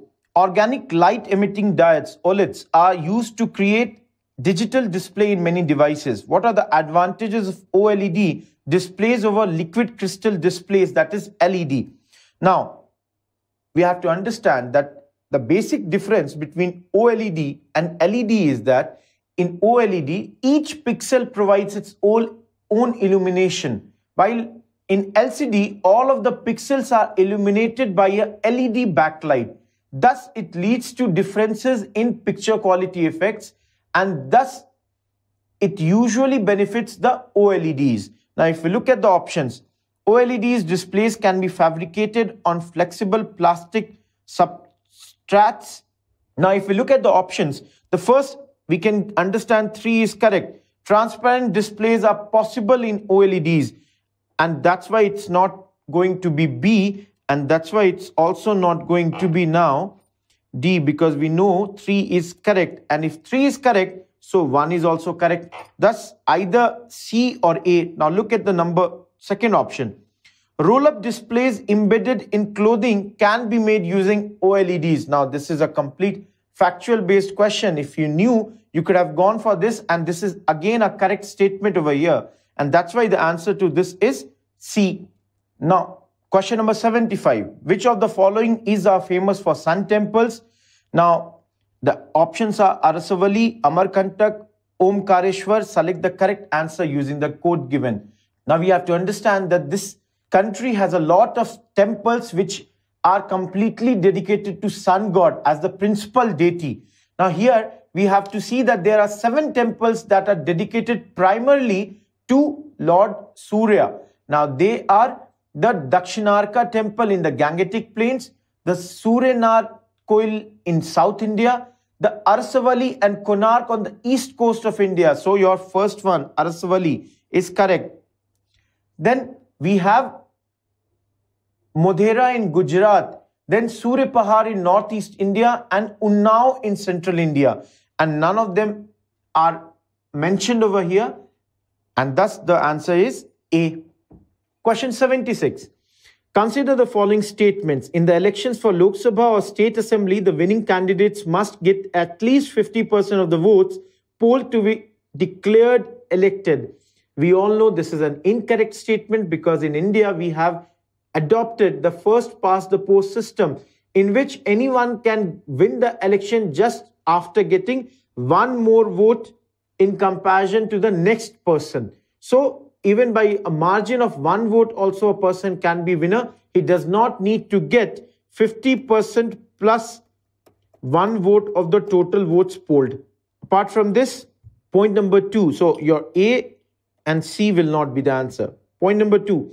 According to the provisions laid down in the Constitution of India, in Lok Sabha, the Speaker's post goes to the majority party and the Deputy Speakers to the opposition. Now, nowhere in the Constitution anything regarding this is mentioned. In the rules of procedure and the conduct of business in Lok Sabha, the election of Speaker and the Deputy Speakers are mentioned. And because of the fact that usually the party which is in the government has a majority, that's why they elect a Speaker of their own And that's why we can give the example of, say, Madam Mrs. Sumitra Mahajan from BJP being the Speaker of Lok Sabha. At the same time, as far as the Deputy Speaker going to the opposition, it is just a convention which has been carried out. And that's why we can see Mr. Thambidurai being the Deputy Speaker who is from AIADMK in Lok Sabha. So the answer to this question would be D. Coming to question number 77. Which of the following has have occurred in India after its liberalization of economic policies in 1991? Share of agriculture in GDP has increased enormously. You know, the first of all, this word enormously is a very huge problem because even if had anybody got a doubt about this question, whether they knew about this or not, now this word enormously has helped the students a lot because even if somebody had doubt whether agriculture's share has increased or not, everybody would be knowing it wouldn't have gone enormously. So your option A or the point number one is incorrect. Thus A is wrong, D is wrong. That's why two and three are definitely correct. And we need to only look for four. Now just look for fourth point. India's foreign exchange reserves have increased enormously. Now, Again, the word enormously is creating problem, but everybody would know that our foreign exchange reserves around 1991, when the LPG had happened, just before that, had been so low that we couldn't import the goods beyond two weeks. And that's why we had to, you know, open our markets. And today we know that our foreign exchange reserves have gone way beyond 21 lakh crore rupees. So definitely this has to be considered as an enormous rise. And thus, the fourth option is also correct, along with the third and second, that is share of India's exports in world trade has increased, FDI inflows have increased, and thus the answer is B, 2, 3, and 4. Question number 78. What is the application of somatic cell nuclear transfer technology?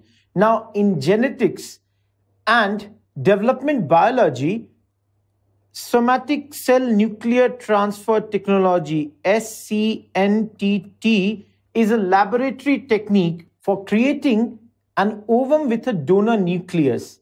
Now, it can be used in embryonic stem cell research and it is also used for the cloning purpose and hence the best answer to 78 would be C, that is reproductive cloning of animals. Now question number 79. Consider the following statements. National Payments Corporation of India, NPCI, helps in promoting the financial inclusion in the country. Now, NPCI is an umbrella organization for all the retail payment system in India. Now, it was set up with the guidance and support of RBI and the Indian Banks Association. And under this, it had solutions like IMPS, BHIM, RuPay, APS, etc that definitely helped in financial inclusion. Thus, your first statement is correct. So, answer can only be now A and C. Looking at it, NPCI has launched RuPay, a card payment scheme. Definitely, this is correct because it was launched in year 2012 as the seventh payment gateway in the world. And thus, both the statements are correct. And the correct option of this is C. Answer is C. And again, it is very much a current affairs question because of the fact that the BHIM app was recently launched. Now, question 80. The term M-STrIPES is sometimes seen in the news in the context of, now, first of all, the full form of M-STrIPES is monitoring system for tigers, intensive protection and ecological status. Now, it's a software monitoring system which was launched by the Indian government not in the recent past but in 2010 in some of the tiger reserves. Now, the aim was to reduce the vulnerability of the tigers. And that's why the best and the correct answer to this question is maintenance of tiger reserves. So the answer is B. Now, coming to question number 81. What is are the most likely advantages of implementing goods and services tax GST? Now, GST is very much in news. Looking at the options, Point number one, it will replace multiple taxes collected by multiple authorities and will thus create a single market in India. Okay. Second, it will drastically reduce the current account deficit of India and will enable it to increase its foreign exchange reserves.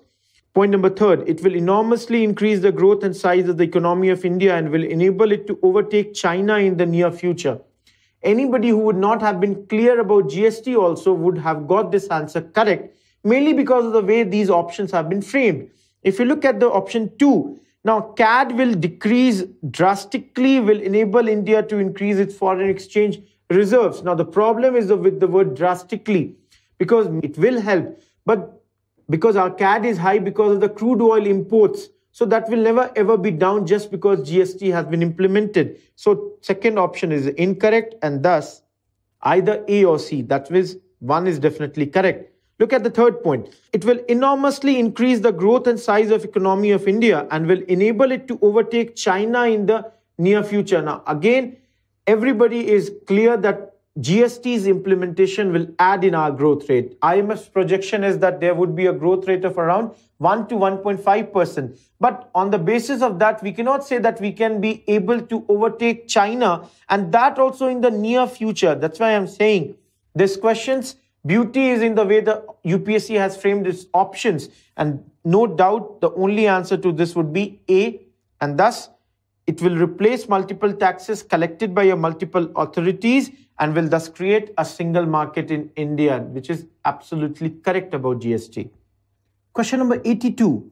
Broad-based trade and investment agreement BTIA is sometimes seen in the news in the context of negotiations held between India and the correct option is European Union because the India EU summit was going to witness an attempt from both the sides to start the talks on broad-based trade and investment agreement. And under this, both the sides were to endorse EU-India Agenda for Action 2020.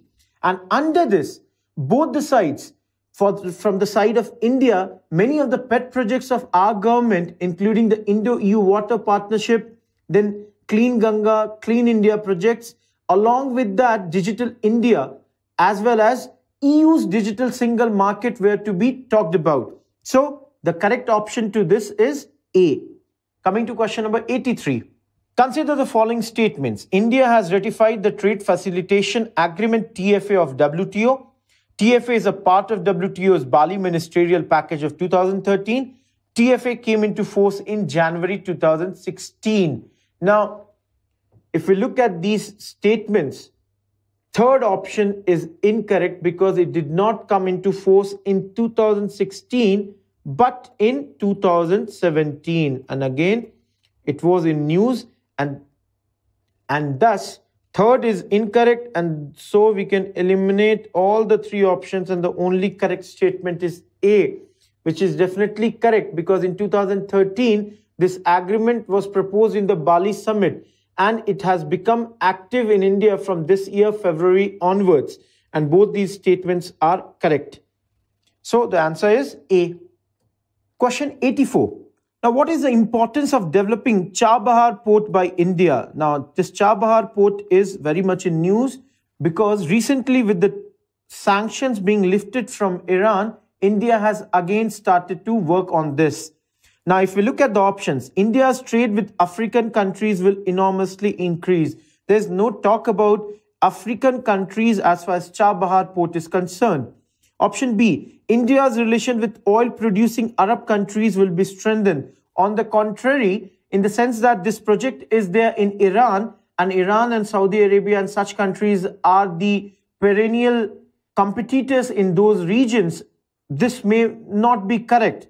Option C, India will not depend on Pakistan for access to Afghanistan and Central Asia. Looks to be correct. Option D, Pakistan will facilitate and protect the installation of a gas pipeline between Iraq and India. Totally incorrect. So the correct option is only option C. So the answer is C.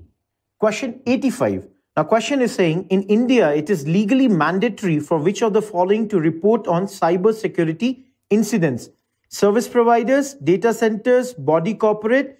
Select the correct answer 1, 1 and 2, 3. Now, if we take a recent example where in India, there was a data breach which involved an alleged 3.2 million debit cards in India. In that case, the hack of the payment processing networks like those of National Payment Corporation of India, Visa and MasterCards, they had to inform the banks regarding the leaks so that they could have started the process of blocking and then reissuing the compromised cards. Now in India, this is under the Section 70B of Information Technology Act or the IT Act 2000, which gives the central government the power to appoint the agency, which in our case is CERT in. And under the rules of CERT, they impose an obligation on the service providers, on intermediaries, on data centers, and body corporates to report cyber incidents within a reasonable time so that they may take timely action. So if we look at this, service providers are there, intermediaries are there, data centers are there, body corporates are there. Thus, if we look at the options, one is there, two is there, three is there. So the answer is D, all the above three. Question number 86, right to vote and to be elected in India is a. Now, here, many people would maybe go for the option C, but it's an incorrect statement. We have to understand that Article 326, which is mentioned in the Constitution, does not talk about right to vote. It talks about universal adult franchise, according to which anybody above the age of 18 is eligible to vote. And right to vote comes from the section 62 in the Representation of the People's Act 1951. So, in the elections to the House of the People, to the legislative assemblies, though the basis is of the adult suffrage, but from where do we get this? This is from RPA 1951, and thus the correct answer to this is it is a legal right. Now, question 87 What is the purpose of Evolved Laser Interferometer Space Antenna eLISA project? Now, eLISA project was a lot in news because it is a mission that is aiming at exploring the gravitational universe from the space for the first time. It involves scientists from eight European countries like Denmark, France, Germany, Italy, Netherlands, Spain, Switzerland, and UK, as well as several scientists from US. So overall, the answer to this is to detect the gravitational waves. So answer is B. Question number 88. What is the purpose of Vidyanjali Yojana? Now, this Vidyanjali Yojana had been launched by the Human Resources and Development Ministry to encourage the youngsters to volunteer their services at any neighborhood government school. And if we know this much, we know that option two is correct to increase the quality of education provided in the government schools by taking help from the private sector and the community. So option two being correct, B is incorrect. Rest anyone can be correct. Now looking at the other options. Option third, to encourage voluntary monetary contributions from private individuals and organizations so as to improve the infrastructural facilities for primary and secondary schools. Now under this scheme, the scheme is targeting only the primary schools, that is class 1 to 5th and the upper primary that is 6 to 8th. So there is no talk about the secondary schools as such. And that's why, because of this, your third point is incorrect. Now, coming to your first point, to enable the famous foreign educational institutions to open their campuses in India, there is nothing like this which has been talked under this, and therefore one is also incorrect. And so the only option that is correct is answer A. Question number 89. What is the aim of the program Unnat Bharat Abhiyan? Now, looking at the options A, achieving 100% literacy by promoting collaboration between government organizations and government's education system and local communities. Looking at option B, connecting institutions of higher education with local communities to address development challenges through appropriate technologies. And this is the correct answer because this scheme, which has been launched by Ministry of Human Resource and Development, under this, the aim was to connect institutions of higher education like IITs, the NITs, and they were to be connected with the local communities to address their developmental challenges. Thus, the answer to this is B. Question number 90. Consider the following statements. Now, this question is about Election Commission, which was very much in news because of different things like uh, the EVM hacking thing. Then there was news about the All India Anna two leaves symbol And that's why this question is a polity question, but it is also covering the current affairs. Now look at the third point initially. Election Commission resolved the disputes relating to splits, mergers of the recognized political parties. And this is correct, which we are seeing as in the case of AIADMK's two leaves issue is there, where there are problems in the different factions of that party. So three is correct. So a has to be incorrect. The point one is incorrect. That is the Election Commission of India is a five member body.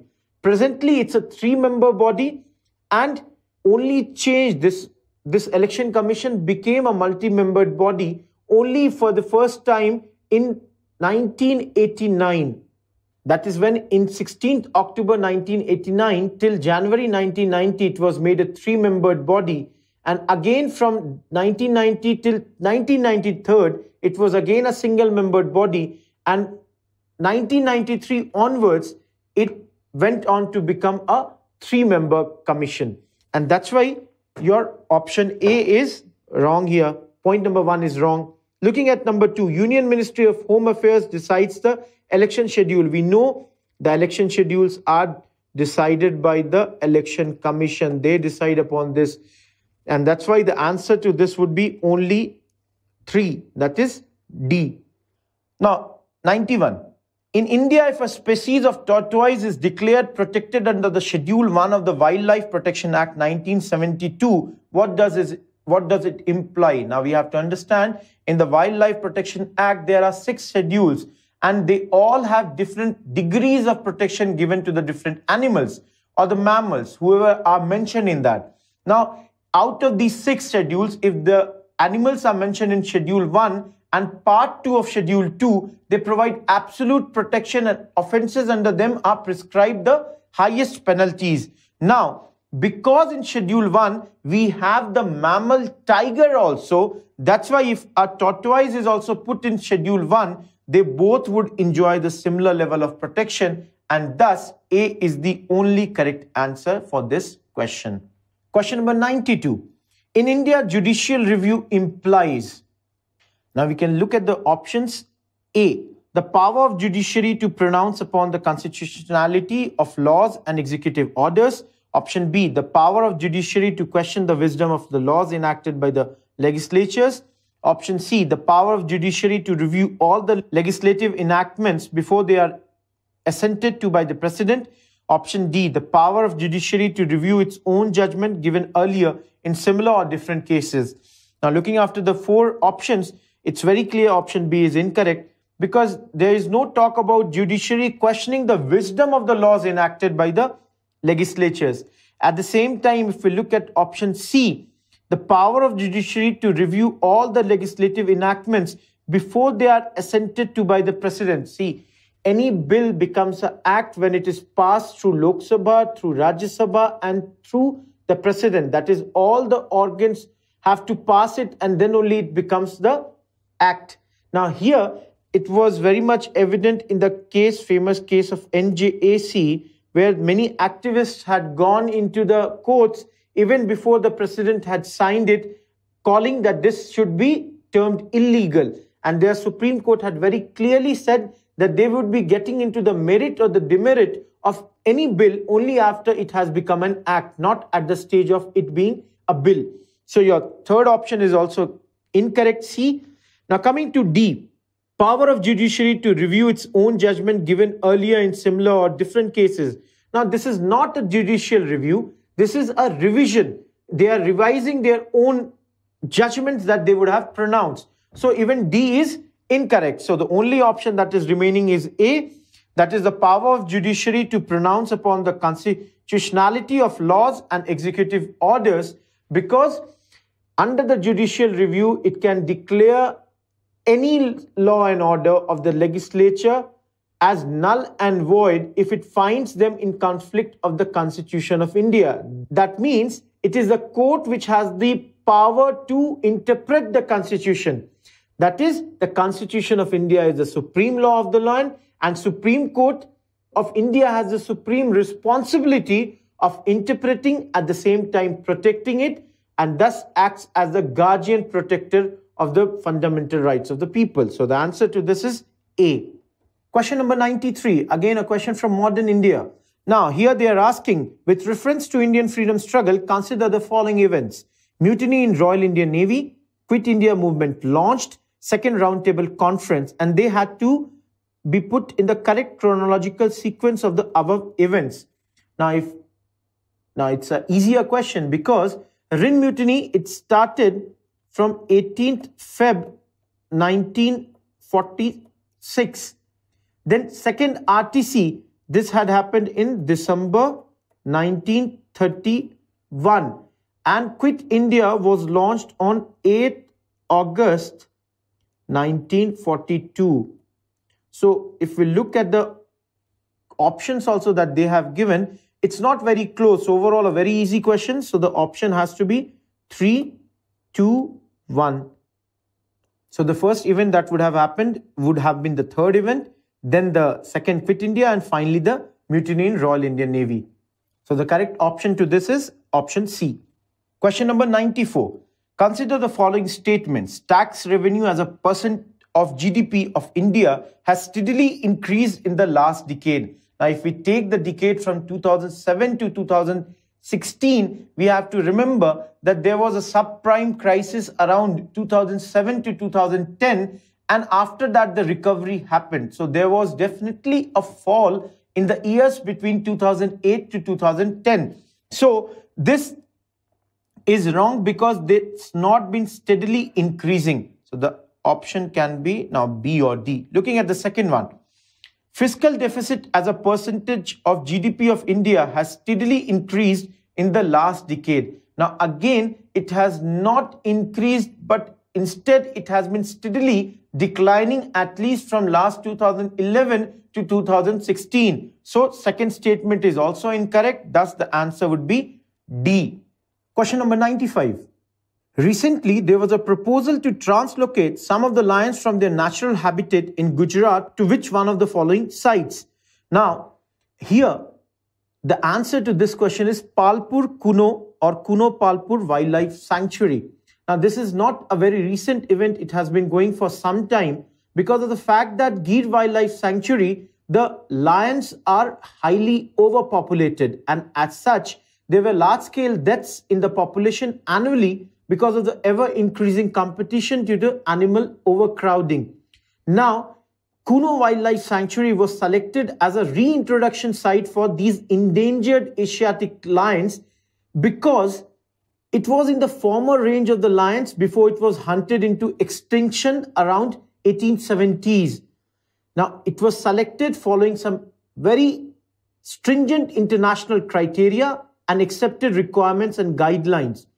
Now, this was very much in news because it had led to displacement of many of the villages of Saharia tribes who had been living in those areas at the same time because of the fact that Gujarat government was refusing to relocate this and only after Supreme Court verdict in around 2013 they had agreed to complete the translocations of these lions within 6 months. So the answer to this is B. Question number 96. Again, a question from polity. At the same time, though it's a question of polity, it is very much also a current affairs question because of the fact that it was so much in news last year because of what happened in two Indian states, Arunachal Pradesh as well Uttarakhand. Now, in both these states, we had some sort of issues with regards to president's rule. And if you could apply your knowledge based on that, you could see the question was which of the following are not necessarily the consequences of the proclamation of president's rule in a state? Now, the question is asking not. First, dissolution of the state legislative assembly. Now, if you remember, in both these states, when the president's rule was proclaimed, the state legislative assemblies were not dissolved. In fact, as you remember, when the president's rule was declared null and void, then also the same state legislative assemblies had continued. So one would be a correct option because they are asking not over here. So one has to be there. These two are incorrect. At the same time, removal of the council of ministers in the state, definitely whenever it happened any place, The council of ministers are definitely removed. The chief minister resigns. So two is wrong. That's this is incorrect. This is incorrect. And even if we look at the third option, dissolution of the local bodies, usually does not happen. Why would the municipalities or why would the panchayats or why would the local bodies of that state would be dissolved? So both 1 and 3 usually do not happen as far as the proclamation of the president's rule is concerned.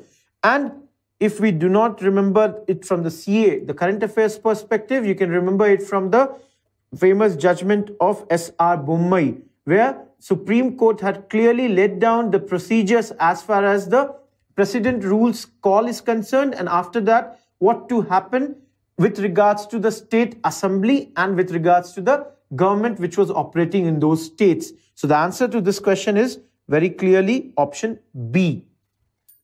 Question number 97. Again, a question from polity, but also its background can be seen in the last year's Child Labor Act that had been passed, a slightly controversial act.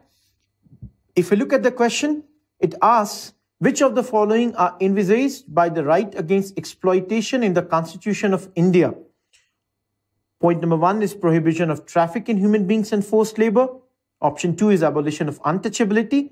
Option three is protection of interests of minorities. Option four is prohibition of employment of children in factories and mines. And then the correct answers had to be chosen. If we just look at option two, abolition of untouchability, which comes under the right to equality, Article 17. So it's not their right in the right against exploitation. And thus, if two is incorrect, you will get only option which is correct is option C, that is 1 and 4 are the only correct options. That is Article 23 and 24. And again, the protection of interest of minorities comes under the Article 29. Question 98. Now, which of the following is geographically closest to Great Nicobar? The options are Sumatra, Borneo, Java, Sri Lanka. Now, if we look at this map, Great Nicobar which is the southernmost and the largest of the Nicobar Islands of India, is just north of Sumatra. And here, this island is hardly 180 kilometers from Great Nicobar. And if we look at the other option like Sri Lanka, you can see the distance, Sri Lanka to Great Nicobar, while this is here. And the rest to Java and Borneo, they are much more southern from here, south to this Great Nicobar. So the answer the correct answer to this question is Sumatra. Thus, A. Question number 99. Now, out of the following statements, choose the one that brings out the principle underlying the cabinet form of government.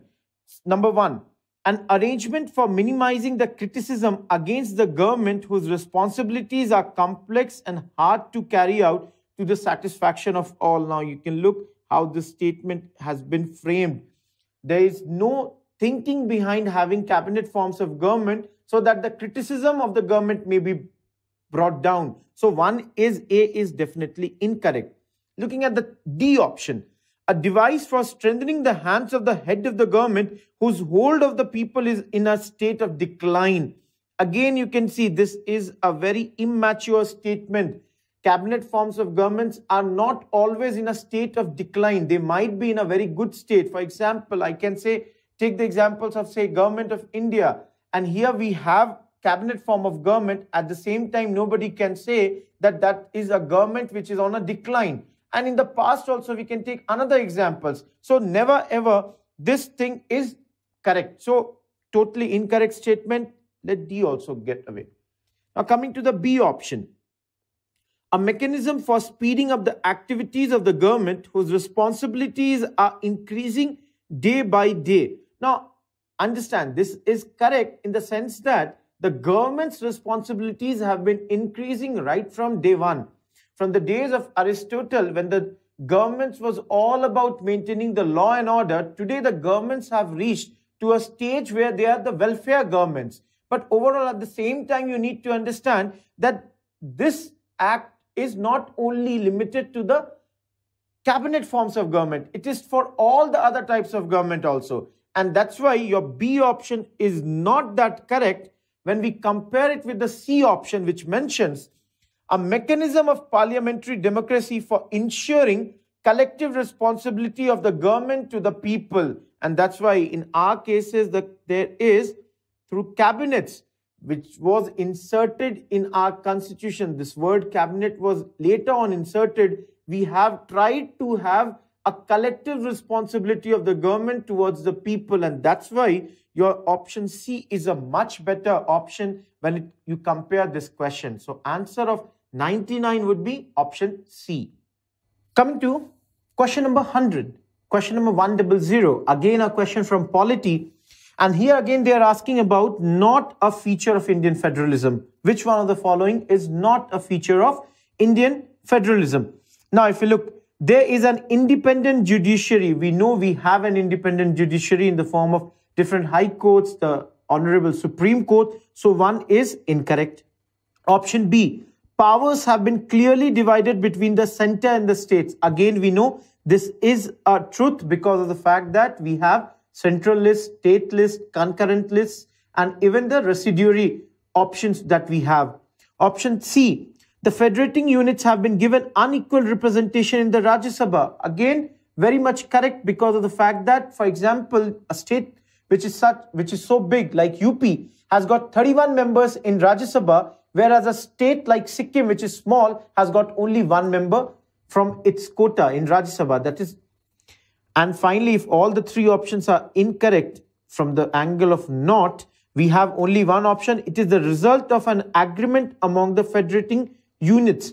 Of course, this is the right answer for this question because they are asking not. Because in India, it is not like, unlike USA, where it is a United States of America, where the states have come together based on an agreement. In India, as Baba Sahib Bhimrao Ambedkar had said very clearly, here the Indian Federation isn't an agreement between the different states. So the correct answer to question number 100 would be D. Thank you. Now, I hope this session helped you to analyze the paper properly. My best wishes are for with all the students who are waiting for their results and are going to write the mains this year. At the same time, I would like to tell you all people that we are going to start our mains test series very soon. The information about the test series is given in the description below.